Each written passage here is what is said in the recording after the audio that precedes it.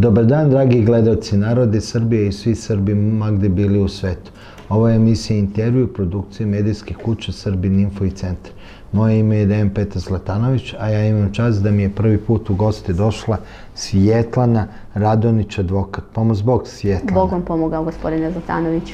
Evo, Svjetlana, ja sam vas pozvao kao advokata da nam iznesete jedan vaš slučaj, jer on sjajno oslikava na kakve probleme sve i advokati nailaze, a i obični ljudi kad imaju problem sa korupcijom ajde, ili ne, nelogičnostima. Da pa ne, i sa jednim nesavjesnim, da kažem, postupanjem. Ajde, da ne govorimo o korupciji, jer nije klasično, ali nelogičnostim i ne, ne, u sudstvu i nesavjesnim postupanjem u tužilaštvu i sve ostalo, pa da objasnimo narodu i jedan od razloga zbog čega su advokati u protestu, ljudi nekad i ne razumeju. E sad, Tako je preko ovog slučaja sjajno možemo da oslikamo kakve, nas, kakve sve probleme advokati nailaze i da razumemo nekad zašto oni ne mogu da nas odbrane možda kako mi očekujemo, jer nekad je stvarno više sila, toliko su stvari i protiv njih, protiv vas, advokata, da, da. da mi koji smo sa strane to ne možemo da razumemo sve dok se ne upoznamo sa ovakvim slučajem. Sad, konkretno čemu se radi, Svetlana će nam objasniti. Ona je dobila slučaj, znači dobila po službenoj dužnosti. Nije ona sad neko došao u kancelariju zakucao i rekao zastupajte me, nego je po službenoj dužnosti. I evo, neka ona dalje ispriča šta se sve to izdešavalo. Hvala vam. Evo ovako, znači ja sam bila postavljena kao branilac u jednom predmetu u prvom osnovnom javnom tužilaštvu u Beogradu kao branilac po službenoj dužnosti jednom od okrivljenih. Bila je trojica, bila su dvojica punoljetnih i jedan maloljetnik. U odnosu na maloljetnika je postupak razdvojen, tako je zakonom propisano. E, otišla sam u policijsku stanicu, preuzela rešenje o zadržavanju, okrivljenima je određeno zadržavanje. Sljedeća radnja je bilo saslušanje okrivljenih u prvom osnovnom javnom tužilaštvu. I ta radnja je obavljena. Sljedeća radnja je bila pozivanje svjedoka. Došao je jedan svjedok, ostali svjedoci nisu došli i nije došao svjedok oštećeni Haled Kamed. Izvinite, to je onaj čovjek što je vezano sa, što je Krik pisao, što mu je dobio državljanstvo od predsjednika države. Pa tako, tako, su, pisale, tako su pisale da novine. Dobro, ja, da, ja, da, ja vas pitam da, da, bi bilo da. sve, da nije u pitanju neko da, drugi. Da, i Uh, znači, uh, nisu tog dana 14.4. došli neki svjedoci i nije došao oštećeni. Uh, mene kontaktira postupajući zamjenik javnog tužioca u tom predmetu, Aleksandar Mladenović, i e, pitao me je za sporazum o priznanju krivičnog dijela. Ja sam prethodno izvršila uvid 9. aprila 2021. godine nakon saslušanja okrivljenih i vidjela sam da činjenično stanje i predmeti koji se okrivljenima stavljaju na teret, da su ih oduzeli, da nema dokaza za sve predmete.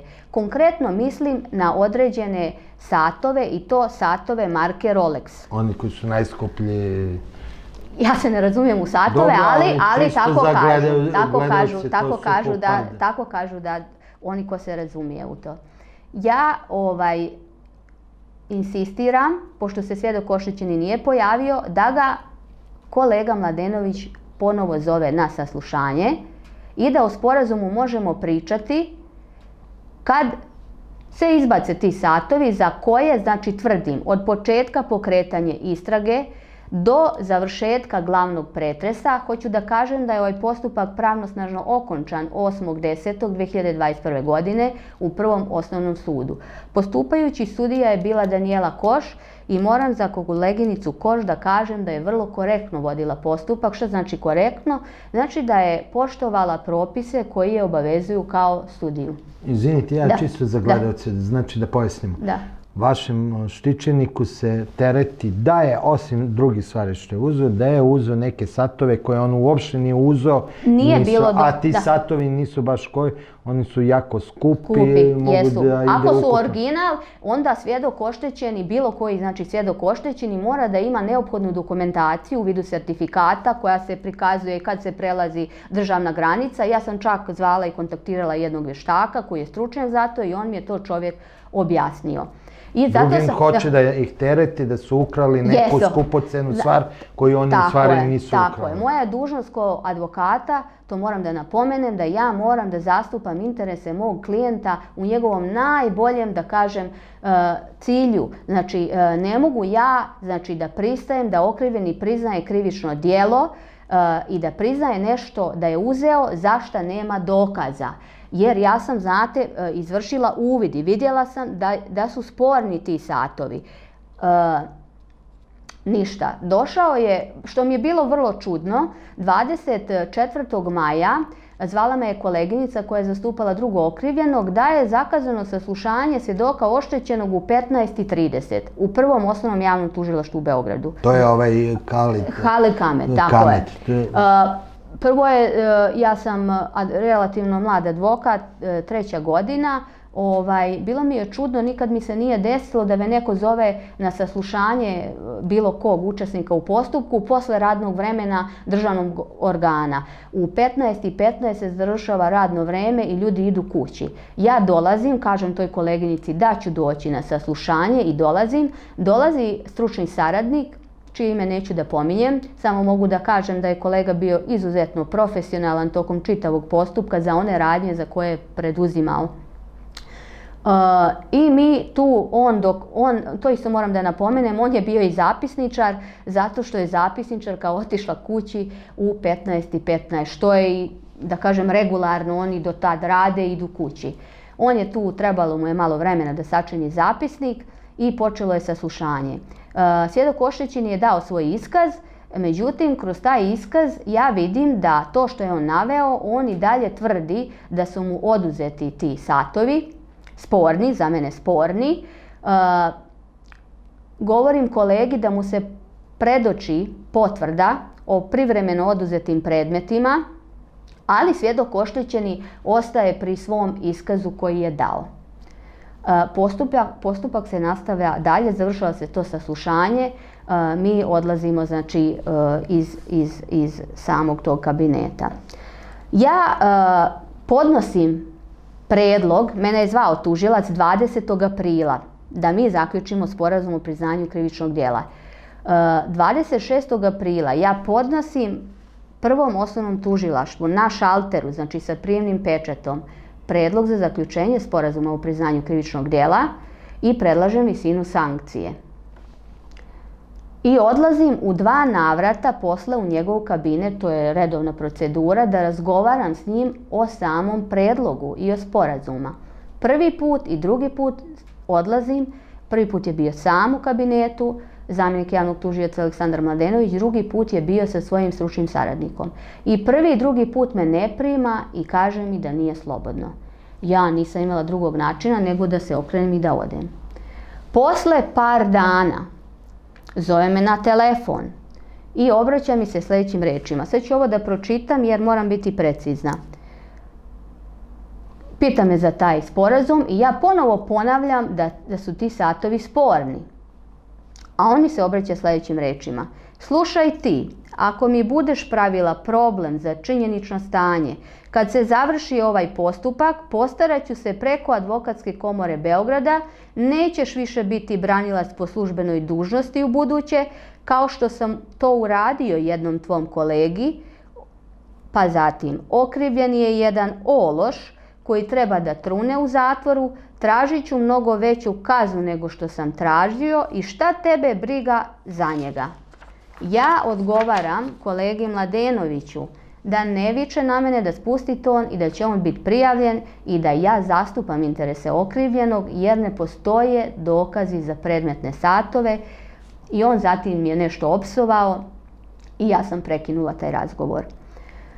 On 25.5. navedeni zamjenik podnosi optužni akt prvom osnovnom sudu u Beogradu i stavlja u izreku tog akta i te sporne satove. I još navodi u obrazloženju da je to oduzeto potvrdama o privremeno oduzetim predmetima, što nije tačno.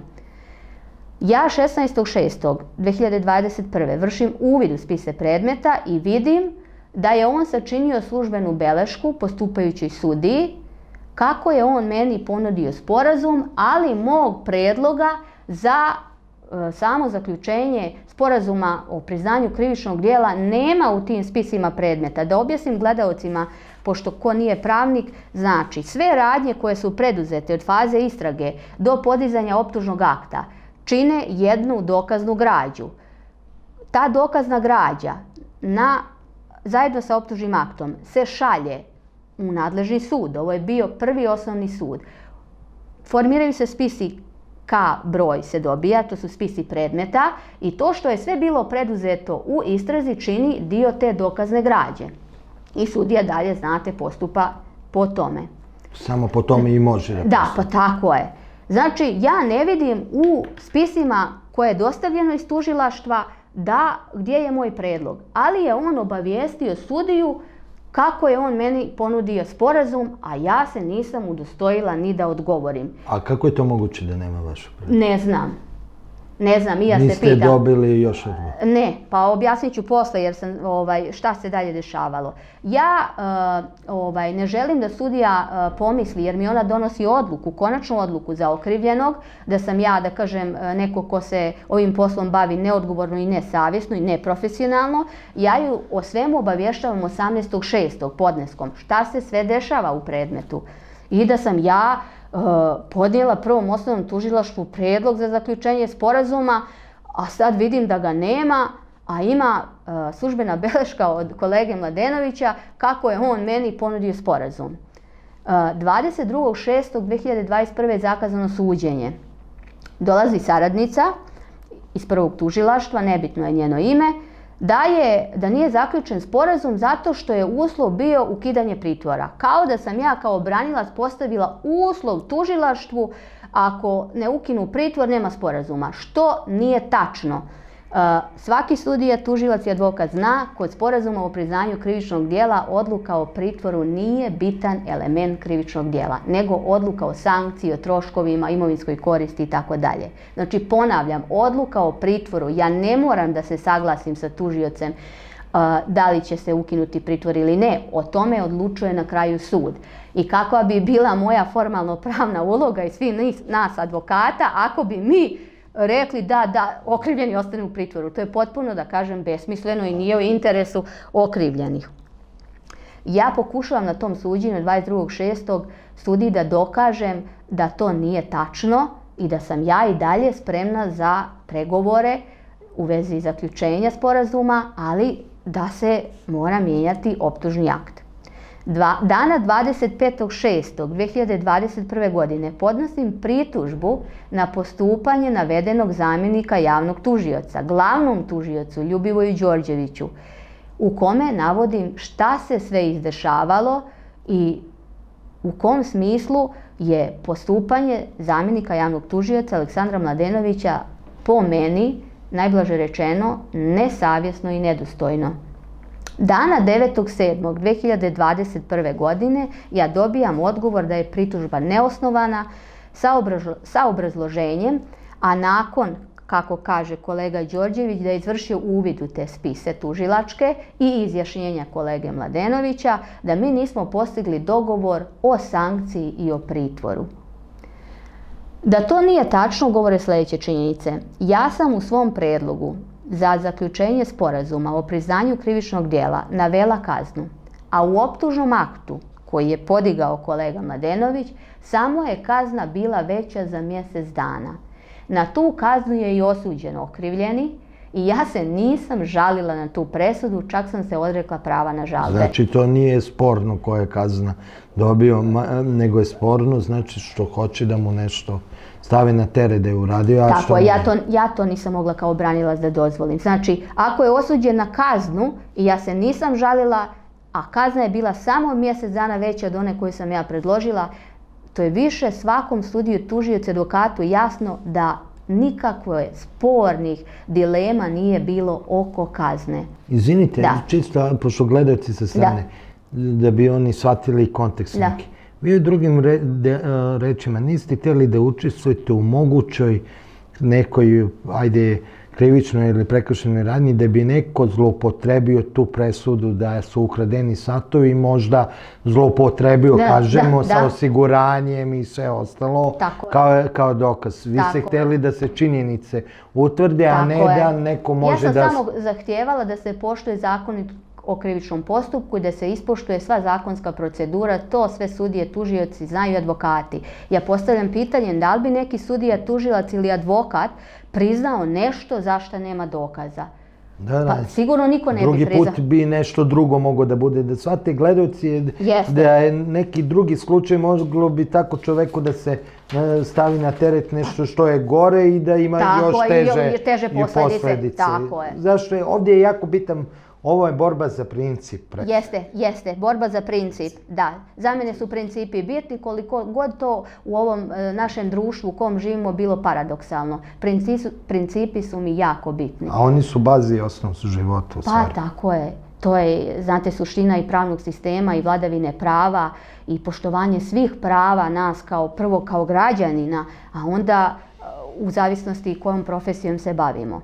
Ja, s obzirom da sam dobila takav negativan odgovor, ja odlučujem da zakažem razgovor sa Ljubivojem Đorđevićem i to ostvarujem 12.7. i on mene zaista čovjek prima. Taj razgovor je protekao u jednom, da kažem, mirnom tonu, na jedan vrlo kulturan način. I ja mu iznosim kakav ja problem imam sa postupajućim zamjenikom i prije nego što mi je ovo kolega Đorđević rekao, ja sam znala od strane mojih kolega advokata da su oni već imali neka negativna i neprijatna iskustva od strane postupajućeg zamjenika Aleksandra Mladenovića. Sam kolega Ljubivoj Đorđević mi to potvrđuje da ima pritužbi na njegovo postupanje i ponašanje.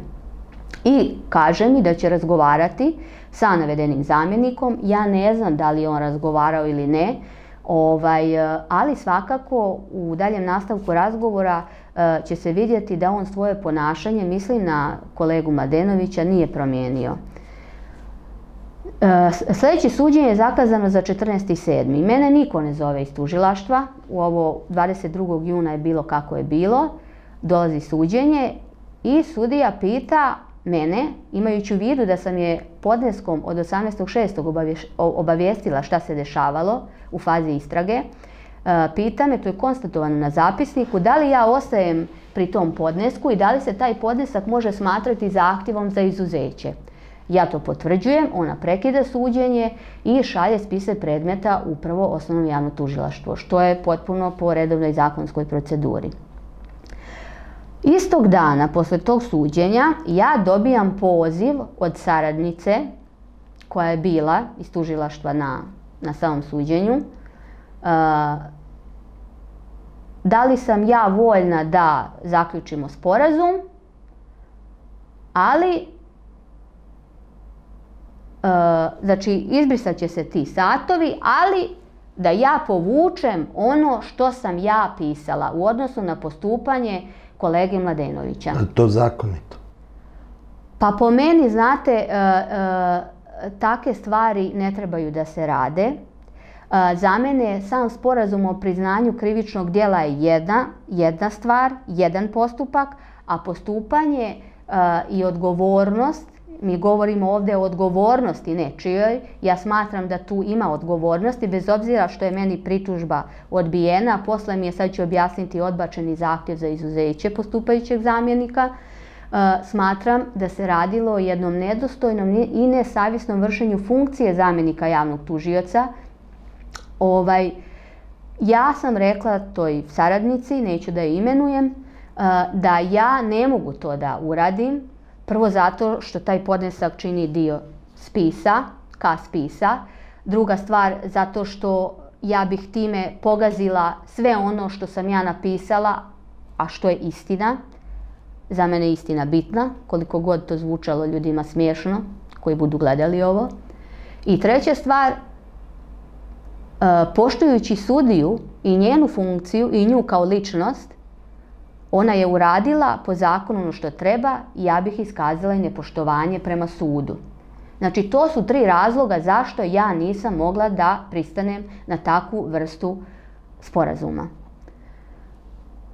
I tu se prekida razgovor, ali sam također rekla da bez obzira kakva god bila odluka na, tu moju, na taj moj zahtjev za izuzeće koji sudija tretira moj podnesak kao zahtjev za izuzeće, ja govorim toj saradnici da sam ja i dalje voljna bez obzira na krajnju odluku povodom zahtjeva za izuzeće. E,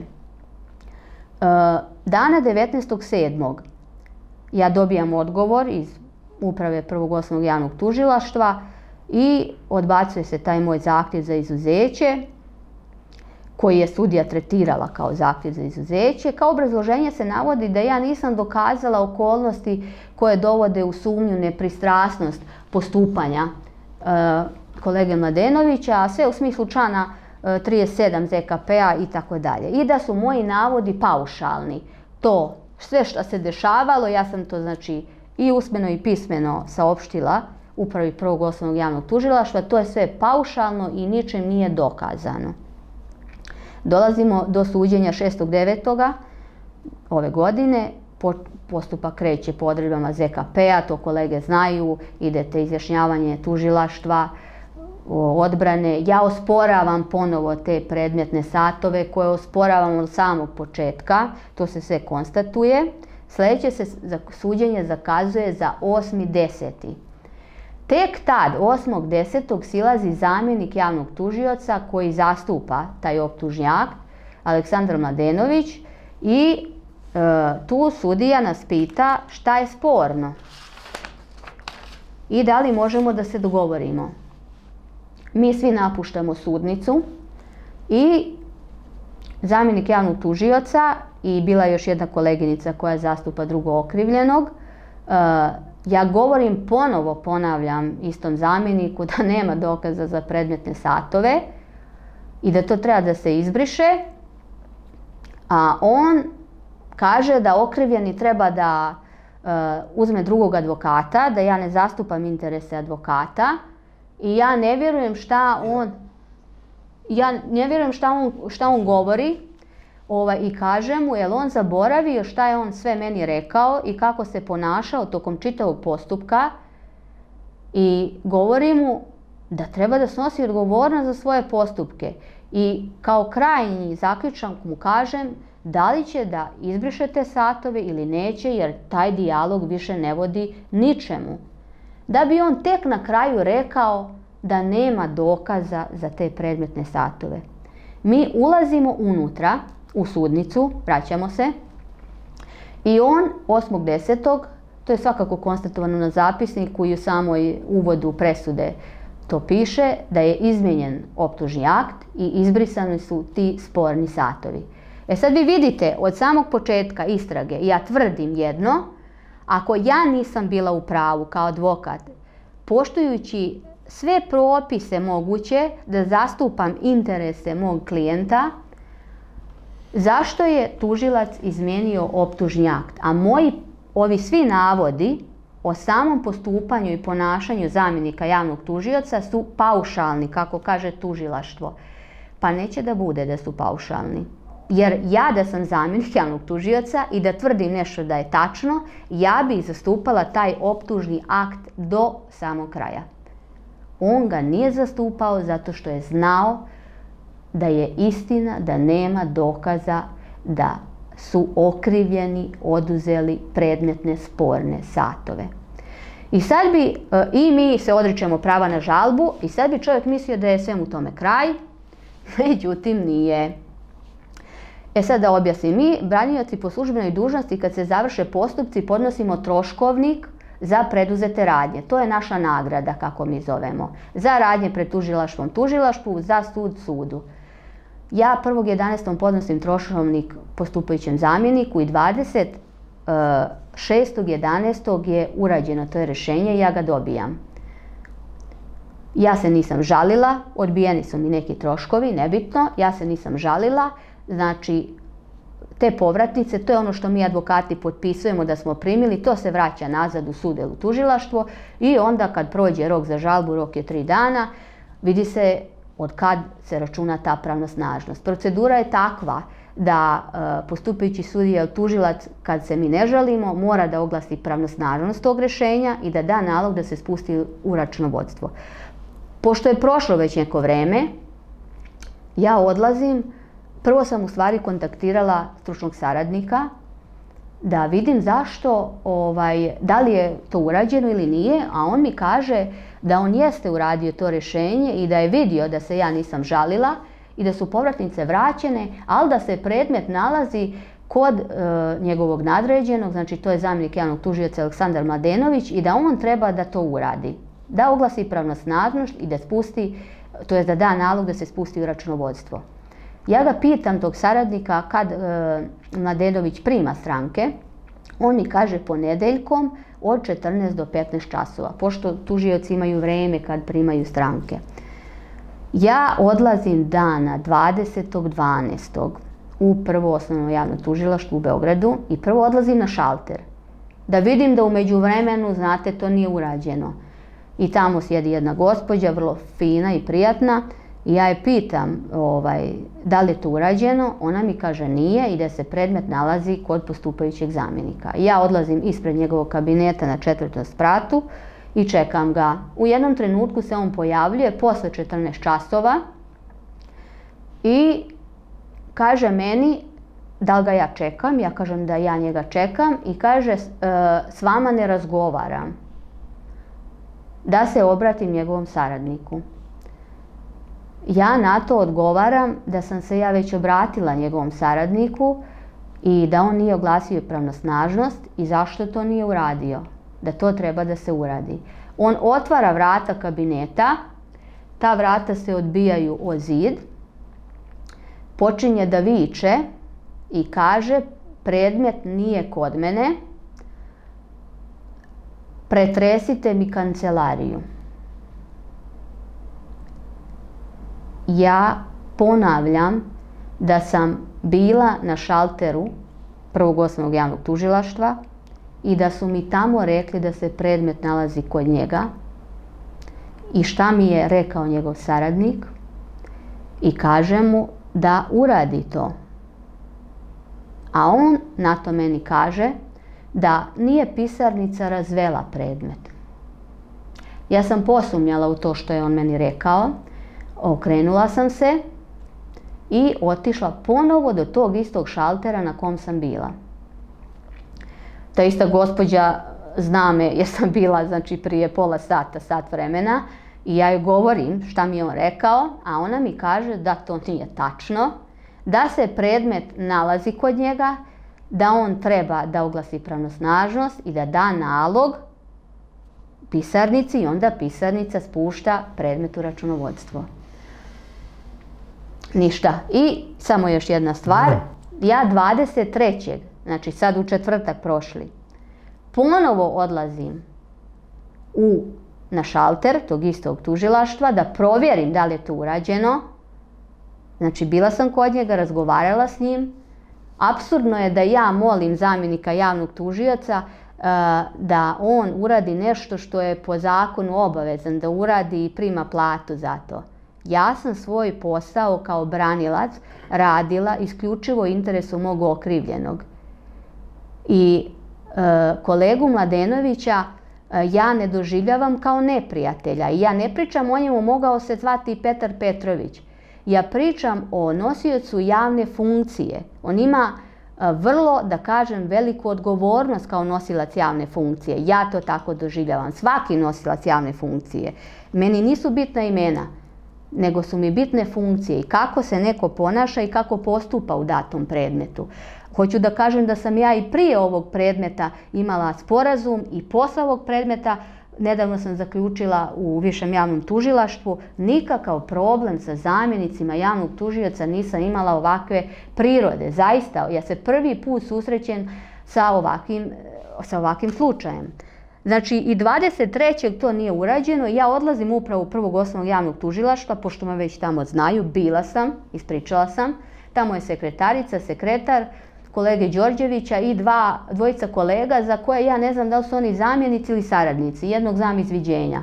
I ukratko objašnjavam, bila sam uznemirena jer me je zaista taj postupak e, kolege Mladenovića, da kažem, e, na neki način e, razočarao, kako bih vam rekla. Ja sam samo postupala od početka do kraja kao advokat i gledala interese mog klijenta i priznao je ono zašto je bio kriv. Za ono zašto nije bilo kriv, ja sam samo tražila da se to izbriše što je na kraju i učinjeno. I svega ovoga ne bi bilo da je kolega Mladenović drugačije sagledavao stvari. Ne znam zašto je toliko insistirao do samog kraja postupka na tim satovima za koje nije, nije bilo dokaza. Ovaj, I odlazim u upravu i kažem uh, ukratko šta se desilo i ponavljam da je, pošto ti ljudi njima je nepoznat taj predmet, ovaj, govorim da je kolega Đorđević upoznan, da imam problem s njim, da on neće meni da oglasi moje rešenje pravno snažno i da spusti u računovodstvo. Da bi mi uh, uh, jedan kolega rekao da spustim ton, ovaj, ja kažem ja sam svjesna da sam ja uznemirena, ne morate to da mi govorite, ovaj, ali uh, smatram da ovako ponašanje zamjenika nije u redu, rekao. A on kaže meni, taj kolega pišite predlog. To je mnogo smiješno, moram da kažem. Ili kolega ne zna kada se piše predlog za izvršenje. Predlog se piše kad je nešto pravno snažno ili izvršno. Ovaj, e, što ovdje nije slučaj, a e, ja nemam namjeru više da pišem nikakve, mi smo sad i u štrajku od 24. Nikakve urgencije pritužbe, jer e, vidjeli ste i sami kako pritužbe prolaze, odbijaju se kao neosnovane. Ovaj, e, I rekla sam da ću ovo sve da objavim. Ja, ne postoji pravni način da ja e, zahtijevam od postupajućeg zamjenika da on to uradi. Znači ne postoji pravni način. On sad to moje rešenje, ako je tako odlučio, može da drži još mjesec dana, dva mjeseca, tri, pola godine, godinu, koliko god mu je volja.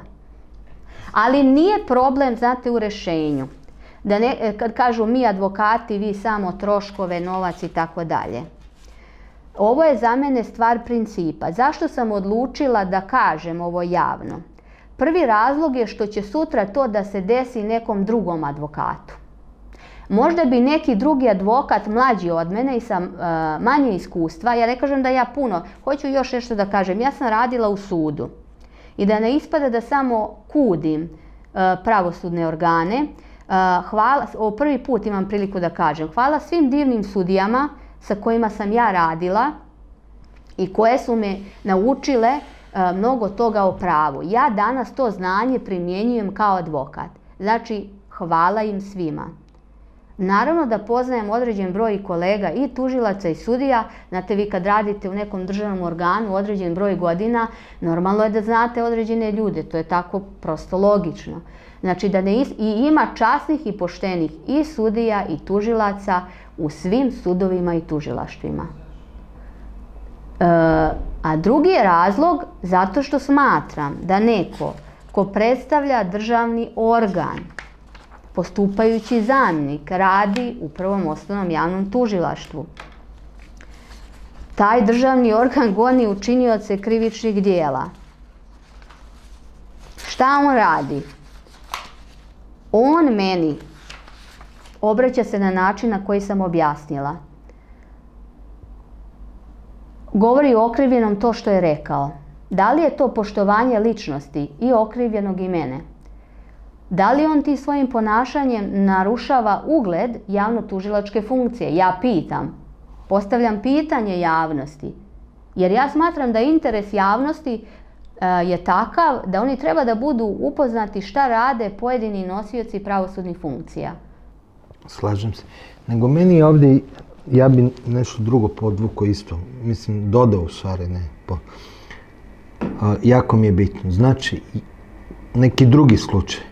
Šta ovdje postoji problem? Znači, da svaki advokat mora sad da vodi računa o tome kakav ima odnos pre svega sa tužiocem, a ne sa svojim klijentom, jer može u jednom trenutku da bude uskraćen za svoje prava, za svoje ni vi ne živite od vazduha, znam i po sebi. E da, samo to što se tiče novca. Ja mislim, kaže, advokati rade za, da se ograničim. Ko ima bilo šta, neke dokaze protiv nekog advokata da ga je, ovaj, da kažem, e, suprotno odredbama e, propisa koji ga obavezuju zastupao, ja nemam ništa protiv, nek podnese dokaze, postoje advokatska komora Beograda i nek bude sankcionisan. Rade, kaže, advokati za novac. Svi u ovoj državi rade za novac. A naravno ne radimo za vazduh.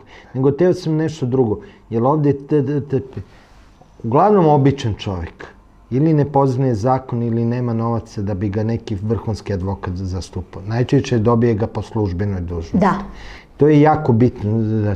Sad znači, ovaj, ovaj slučaj to slikova. Postoji velika opasnost da običan čovjek se nađe zbog nekih životnih okolnosti, da je neki zakon prekršio ili možda je prekršio ili, ili možda hoće da mu da namesti da je prekršio, da bude žrtva nekih intriga, baš zbog ovakvih stvari, jer će advokati, ako javnost ne pomogne s advokatima u ovom protestu i advokati biti stalno pod pritiskom tužilaštva i pod ucijenama i sve ostalo i budu uskraćeni da zastupaju kako treba po zakonu svoje klijente, nego će morati i da vode računa o svom položaju i sve ostalo u strahu da ne budu sankcionisani. Ne samo ovdje o novcu, govorim i o tome da taj, on je pretio, ako sam ja razumio, gospodin Mladenović je pretio vama, da je on već napokostio jednom advokatu. to su njegove i, riječi. I da je uništio karijeru jednome čoveku ili je zagorčio život. Neće više biti branilac po službenoj dužnosti, što će uraditi i meni kad se okonča postupak. Ja ne znam da li je on uh,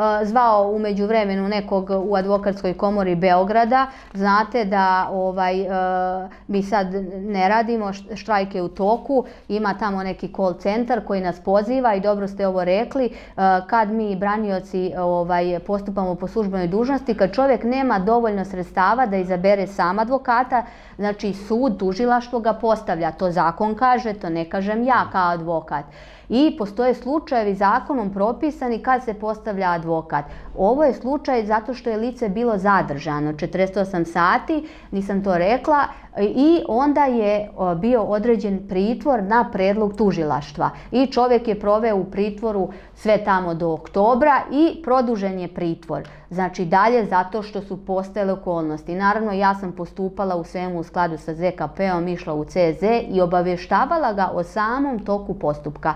Šta se dešava? Sve ovo ovaj, e, što sam pričala, ja sam obavještavala mog okrivljenog da on ne bude čovjek u nekoj vrsti zablude, da ja radim protiv njega i da ne zastupam njegove interese. to je vrlo bitno. Okrivljeni inače dolazi iz socijalni siromašnog okruženja, romskog okruženja i, čovjek nije upoznan sa zakonima i sve, ali govorim da i običan čovjek bi Nema mogao. to veze, da. mogu da dođe, jer ja znam i dok nisam se bavio ovim poslom, kad sam bio nezaposlen i sve ostalo, meni je sistem državni bio stvarno nepoznanica velika, ogromna i imao sam ogromni strah. I običan čovjek može lako da uđe u kafka proces, ne poznajući zakon, a i zbog ovoga što institucionalni pritisak postoji na vas advokati, da ne, na vas advokati da vas onemogućavaju da radite posao u interesu klijenta. E sad, vezano imamo ovaj zakon o krivično pravo. On je vezan i ovim ZKP i ovom, ovim stvarima što se de. Koliko su ove izmjene u ZKP opasne i, koje se nude i zbog njih isto na, na koje konkretno mislite? A ove sad što su nove, najnovije, zbog čega vi advokati se Mislite na ZPP? ZPP, ja ZPP, ja izvinite. Da, da. ZPP, pa ovako, ja sam pročitala, da, pa zakon o parničnom postupku. Nisam Da, vi ste, ostali ste u krivici. Ovaj, e, pa taj zakon po meni, ja sam čitala taj nacrt zakona i mnoge moje kolege su imale primjedbe, eh, ovaj, neki su i dostavljali pismeno. Ja ću samo da kažem ukratko, eh, izmjene se tiču zahtjeva za izuzeće, pa revizije, pa elektronske dostave, pa još nekih da kažem stvari. Ja ću ovaj, pokušati da budem koncizna. Što se tiče te elektronske dostave, neke kolege to već koriste u odnosu na upravni sud i čujem njihova iskustva da se tužbe ne zavode već po par mjeseci. Znate, vi u pravu imate procesne rokove koje vi e, morate da poštujete. To mislim e, i na sud i na advokate. ako ja zastupam nekoga i treba da podnesem neku tužbu, imam određeni rok, ako ja propustim taj rok, ta tužba se odbacuje kao neblagovremena. Znači nema postupka, stranka izgubila pravo, ja to moram da znam. E sad, mi ovako klasično podnosimo podneske na šaltere sudova i tužilaštava i dobijamo prijemne pečate. I to je nama dokaz da smo mi predali nekakav podnesak e, sudu ili tužilaštvu. E, u slučaju te elektronske komunikacije, to vam je slično kao sa mailom, vi pošaljete nekom nešto, taj neko može da kaže da to nije dobio. I kako Nemate dokaze. Pa nemam, do, imam ono što sam ja, ali da, kako ću ja da znam da li je on to tamo primio i kako će on meni to da dokaže da je on to primio. Može, a i ne mora. Znate, to je za mene jedna pravna nesigurnost takav, i da to bude obavezna dostava. Može kao opcija, ali ne kao obavezna dostava. Druga stvar, ne smatram da je dobro da sudija koji sudi odlučuje o svom izuzeću.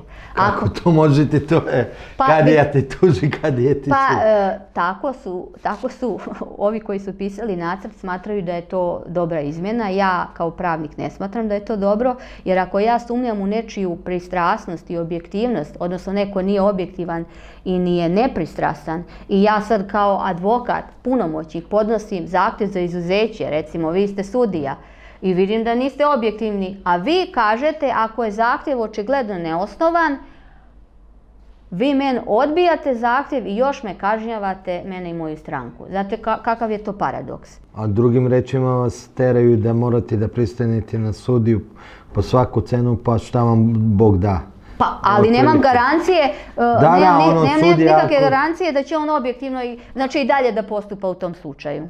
Da, znači on sudi kako sudi, a vi... Tako je.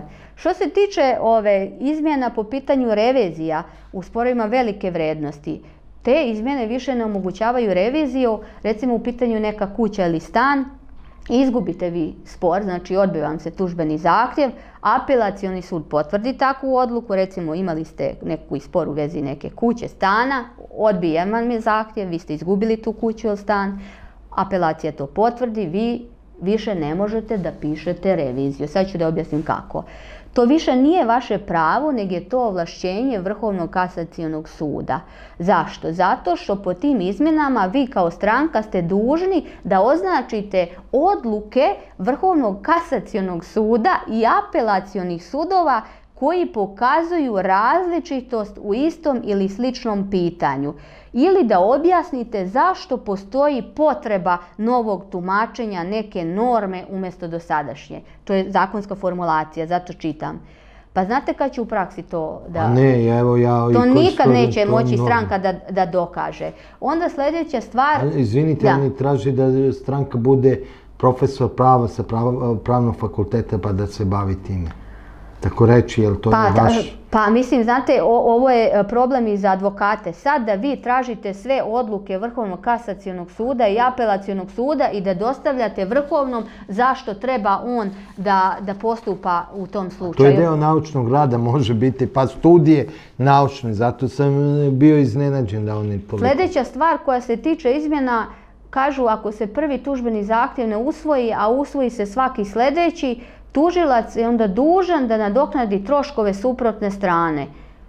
Mi sad imamo član 153 stav 2 zakona o parničnom postupku kojim je propisano ako stranka djelimično, djelimično, to sudije znaju odlično, djelimično uspe u sporu, da sud može da odluči da svako snosi svoje troškove. Tako da ove izmjene su za mene suvišne. Također se uvode neke izmjene koje se tiču retroaktivne primjene zakona. Mi smo učili na pravom fakultetu odavno da je zabranjena retroaktivna primjena zakona ovaj, e, i tu se krši načelo pravne sigurnosti po meni. Onda se tiču neke izmjene gdje se navode nekih korisnih budžetskih sredstava, jedinstveni broj javnih sredstava. Mi ovako nekad neke podatke kad moramo da ih stavljamo u podnescima teško dolazite do tih podataka, a ovo bi tek bilo da kažem još, još teže. Samo da vidim da li još nešto imam za, za, te, za te, da kažem, uh, izmjene. Izvinite, ja što ste naveli sad ko istoričar imam utisak da je neko rešio da je okupacijono pravo ovdje. Znate, što se tiče te elektronske dostave, ja sam imala situaciju u jednom predmetu u tužilaštvu gdje sam tražila neki dokazni predlog i e, vidjela sam da koleginica e, nije mi odgovorila ništa na taj moj dokazni predlog i e, ovaj, odlazim kod nje, a ona mi kaže da to nije dobila. Da nije to dobila. Moguće je. Od šaltera do pisarnice da se negdje izgubi. Ima puno predmeta. Ali znate, ja sam imala podnesak sa primnim pečetom da sam ja to predala. Pa mi je ona rekla, ponovo kopirajte koleginice, pa ću ja da odlučim o tome. Eto, to su te neke elektronske stvari, digitalizacije. Znači, ne smatram da to treba biti, prvo, kod nas ima puno ljudi kompjuterski neobrazovano, to je prva stvar. Druga stvar, koliko bi to vremena trebalo da zaživi u sudovima i tužilaštvima kad mi već sad imamo problem ovakav prirode, kad vi nešto predate da se, da se gubi. Ja moram da kažem nešto, da ne ispada da ovaj, e, e, samo da kažem e, govorim neke negativne stvari u vezi sudova i tužilaštva. Rekla sam da sam radila u sudu i, e, i dalje tvrdim da ima ljudi koji rade savjesno i, odgovorno i u skladu sa propisima od osnovnog sve do vrhovnog suda, također i u tužilaštvima. Ovo što sam navela za postupanje Mladenovića, ja smatram ovaj, e, da, da su to izuzeci. Ja smatram tako, hoću da vjerujem da je to tako. Ovaj, sudije osnovnog suda i prvog i drugog i trećeg imaju po nekoliko hiljada predmeta. To prije deset godina nije bilo tako. Nije isto bilo imati 300, 400, 500 predmeta, imati hiljadu, dve, tri ili koliko već predmeta. Ranije je jedan studija imao jednog referenta i jednog zapisničara i jednog saradnika. To moram da kažem. Bila bi vrlo neodgovorna i da kažem bezobrazna ako to ne bih rekla. Kad pričamo o efikasnosti i ažurnosti, nama se stranke žale kako to sve tako sporo, kako je neažurno i mnogo su, da kažem, ljuti, ogorčeni na pravosuđe. E, sad imate e, sudiju koji dijeli saradnika svog, kad kažem dijeli, on, taj saradnik radi za troje sudija. Gdje je tu efikasnost? Da. Imate referenta koji radi za troje sudija. Gdje je tu efikasnost? Znate, tu ne može se, znači kvantitet i kvalitet nikad nisu išli zajedno, nisu ni te sudije da kažem ako nešto ne urade na vreme u svakom predmetu, da kažem da je to njihov propust, nekad zbog tih tehničkih uslova je to prosto neizvodljivo. Ovaj, ali ako vidimo kao u ovom predmetu koji sam ja sad imala, tu e, po meni, ja da sam dobila smatram da je kolega Đorđević e, trebao, to ću sad da, da, kažem da završim s tim predmetom, on je trebao da izuzme kolegu Mladenovića iz tog predmeta. Ja bih dobila drugog zamjenika javnog tužioca s kojim bi postigla ovaj dogovor i svega ovoga ne bi bilo. E, ja ću da se obratim mojoj komori matičnoj, to je advokatska komora Beograda i predsjedniku e, Momčilu Bulatoviću, poštovanom i uvaženom kolegi da zaštiti moje interese kao advokata i moje dostojanstvo. Jer i nakon pravnosnažnog okončanja postupka ja trpim e, e, za mene nedostojno ponašanje postupajućeg zamjenika. E, to imam ja pravo na osnovu člana 11 statuta Advokatske komore Beograd da učinim i ja ću to da uradim. Evo, uh, vama se zahvaljujem što ste me saslušali, ako imate još neko pitanje. Ja imam jedno, moram da vam postavim pitanje, to imamo referendum 16. januara vezano za ustavne promjene oko sudstva. Kakav je vaš stav povodom? Nama se toliko zakoni brzo mijenjaju da mi ni advokati sami ne možemo da, da pohvatamo. Ovaj, što se tiče tih ustavnih izmjena, ovaj, uh, vidimo po tim nekim izmjenama kaže da sad pet članova e, bira skupština, ostaje ministar pravde, e,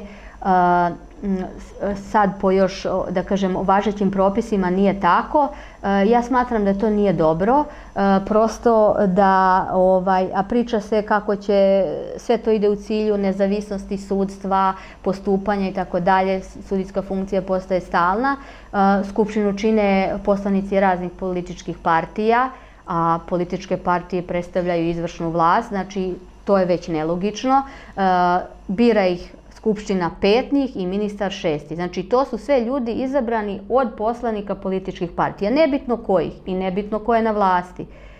Tako da ja ne smatram da će taj cilj e, o kome se govore biti ostvaren nisam toliko upućena, možda trebate pozvati nekog drugog ko se bavi ustavnim izmjenama, ali to je ono što sam imala prilike da ispratim. Znači ja ne smatram da će to poboljšati rad sudova i tužilaštva. Gdje su vas kao advokati pitali za to? Ne, tu se i, mislim da se članovi advokatske komore, tu čak nema advokata kao... A ne, mislio sam čisto kao savjet da vas Ja ne znam da li neko advokatsku komoru Beograda pitao, mene lično nije. A dobro, ali mislio sam kao esnaf, jer ne vidim razloga ako je već u pravosuđu neke promjene i u sudstvu se prave u stvari. Trebalo, trebalo bi da bude. Iz iskustva da i Jer gledajte, sudovi ne mogu da funkcionišu bez i tužilaštva bez advokata. Mi smo svi usmjereni jedni na druge. I to hoću sad da kažem onako kao neku vrstu zaključka. smatram da treba da postoji više uvažavanja, više dostojanstva, više međusobnog poštovanja između nas kao kolega. To što ja se s nekim ne slažem pravno, da li je to neki tužilac, sudija, kolega advokat, jer kolega zastupa u parnici drugu stranku, to ne znači da mi treba da budemo neprijatelji i da se daleko bilo mrzimo. I svako radi po svojoj savjesti. Mi ne možemo, ovaj, mi nemamo drugu zemlju, mi nemamo druge sudove, mi nemamo druga tužilaštva, nećemo ih nikad ni imati. Zakoni mogu da se mijenjaju. Ja samo smatram da uvijek pri svakoj izmjeni zakona treba da učestvuje šira javnost, da se izvrše detaljna analiza, kakve će posljedice biti po, po građane Republike Srbije, jer mi smo svi građani, nezavisno od toga čime se mi bavimo. Da li smo mi sudije tužioci ili se bavimo nekim drugim poslom. Znači posljedice zakona mi svi snosimo. Ako zakoni nisu dobri i posljedice, mi ćemo svi to da osjetimo. Smatram da ovaj, ovakva postupanja nosilaca javnih funkcija, jer ipak, znate, nije isto biti frizer i biti nosilac jedne pravosudne funkcije. Stepen odgovornosti, pričamo o odgovornosti, bi trebao da bude veći. Također želim da kažem, znate, ovaj, ja mogu da razumijem kolegu Đorđevića da je to možda uradio iz nekih kolegijalnih razloga. Radite s nekim puno da kažem, puno vremena provodite, znate se. Ali za mene kolegijalnost prestaje onog momenta kad se ugrožava pravo nekog drugog. Da li je to bilo pravo na odbranu, pravo na moj rad ili u nekom drugom slučaju nešto drugo, e, ta zaštita mora da, da prestane zato što se tako narušava jedan pravni sistem i treba da jačamo pravni sistem, a ne da ga narušavamo. I to je odgovornost svih nas, i advokata, i sudija, i tužilaca. Zato što smo mi svi povezani kroz našu profesiju. Mi smo svi isti pravni fakultet završili, položili pravosudni ispit, bili pripravnici, neko u advokatskoj kancelariji, neko u sudu. Ja sam bila u sudu i zaista tamo znanje koje sam stekla je za mene da kažem nezamjenjivo i dalje učim. Znate, neko vam da osnovu, a vi se posle nadograđujete sami. Ako hoćete da učite, ako nećete, onda vam je, da kažem, tu ste gdje ste. A dobro, svaki posao, ako hoćete dobro da radite, morate stalno da, da. nadogradnju da radite. I meni zanima i ovaj protis, imamo advokate, sad imamo Beograda, nemamo cele Srbije. kako to ide i sa mnogima je zbunjeni su. Prvo, zašto nije cela Srbija, a drugo, dobro, Beogradska advokatska komora je ubedljivo najveća u odnosu na, sve ostale. Ali mene zanima i dokle ćete da protestuje, koji su ono zahtevi na koje, posle kojih ćete možda prestati sa štajkom? Šta moraju pre svega da se ispuni? Pa, ovaj, ne znam da li ste bili tamo na našoj skupštini 21.12. smo imali tu skupštinu, ovaj, kolega Bulatović je presjedavao tom skupštinom, e, donešena je odluka da idemo u štrajk do daljnjeg sa zahtjevima da se povuče stav ovog Vrhovnog kasacijonog suda, e, drugo da e, ovaj, se povuče ovaj nacrt zakona o parničnom postupku o kome smo sad malo pre pričali. Da, e, ja nemam informacije lično šta se dešava s tim, dobijam samo informacije od kolega da se i dalje vode neki pregovori i da se nastavljaju te izmjene. E, Šta će upravni odbor advokatske komore Beograda da odluči ne znam. Štrajk je do daljnjeg, ne postupa se ni u pritvorskim predmetima, ni u pritvorskim predmetima, u postupcima prema maloljetnicima, na teritoriji, mi advokati iz Beograda, na teritoriji cijele Srbije, znači neko ko ima suđenje u Crnoj Gori može da ide, ne krši da kažem e, tu zabranu.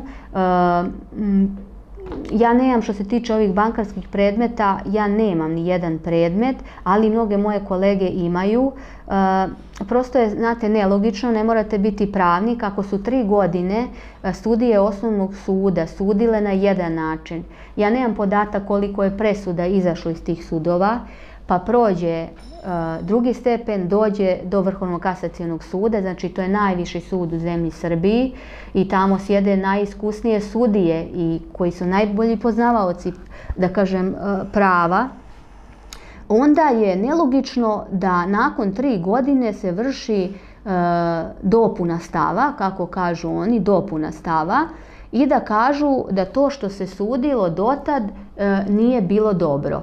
Prosto se postavlja pitanje, a kako je moguće da je nekoliko desetina hiljada presuda prošlo kroz taj isti vrhovni sud, a da to vrhovni kasacioni sud nije tad mogao da zapazi u momentu kad su donošene te odluke. Evo, ja znači ne bavim se bankarskim predmetima, to koleginica Pavlović mnogo bolje zna, ali ja ovako da kažem kao, kao neko ko se bavi pravom, ali prosto mi je to, znate, nelogično. Ne mogu ja vas da pustim tri godine da radite e, šta vi hoćete i ja to potpisujem da je u redu, a onda posle tri godine kažem, e, to sad više ne važi i sad se tu spominju da li je bilo ponuda, nema ovih dana vidimo na televiziji, u medijima i moje kolege advokati i e, sudija Slepčević, e, ovaj,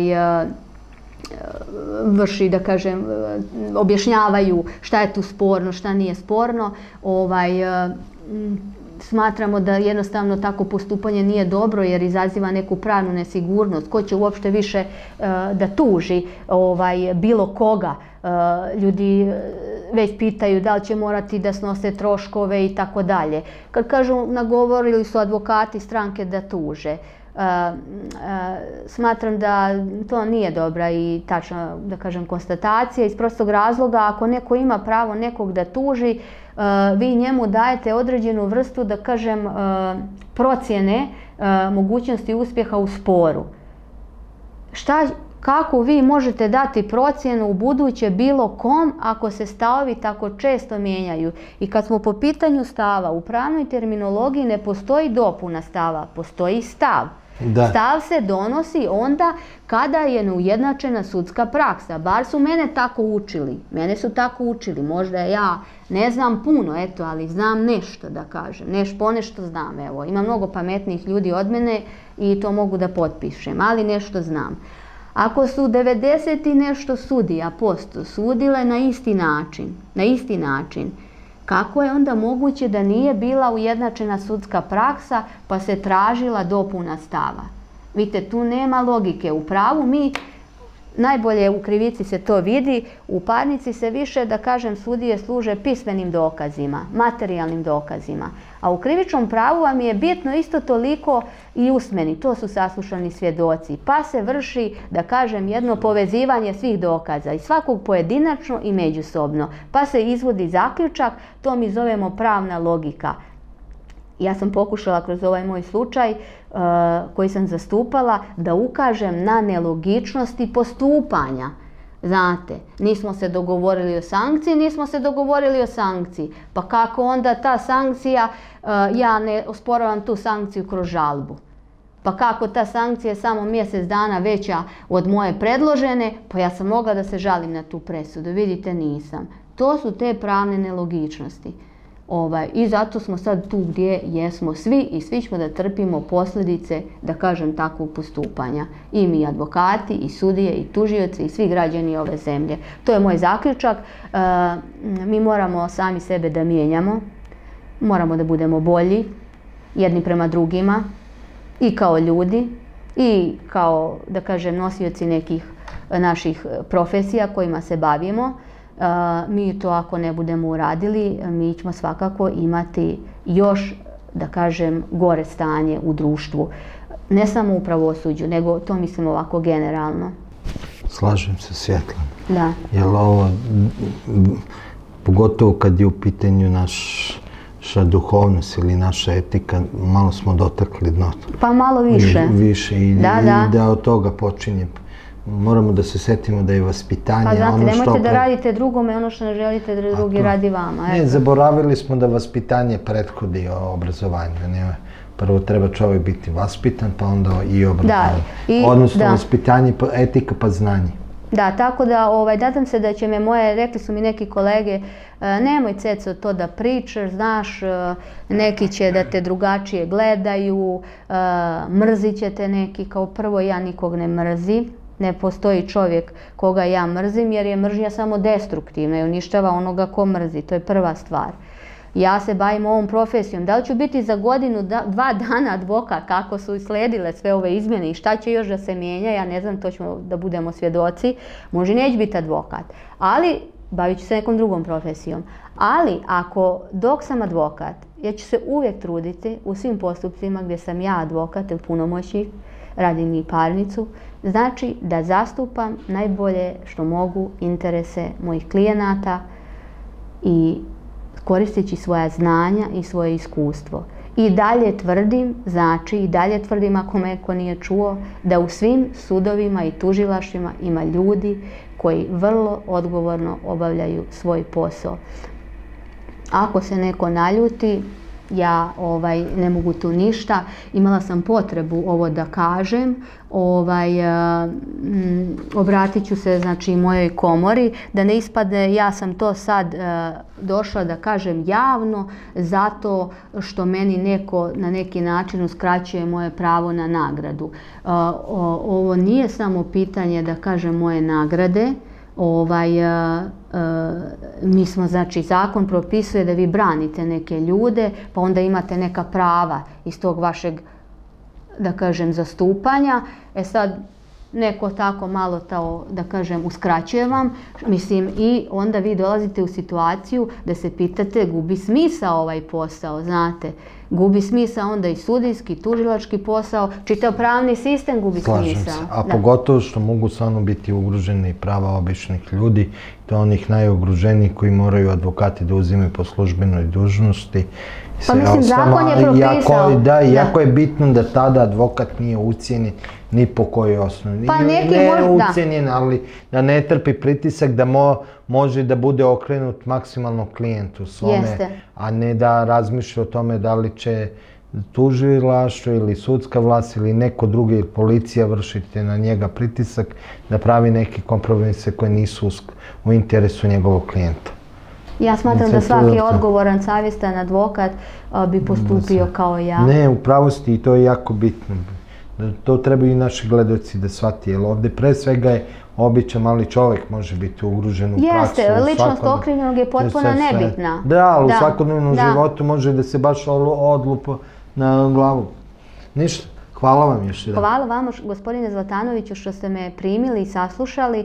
Želim vam još veću gledanost u sljedećoj godini. Vama lično više zdravlja.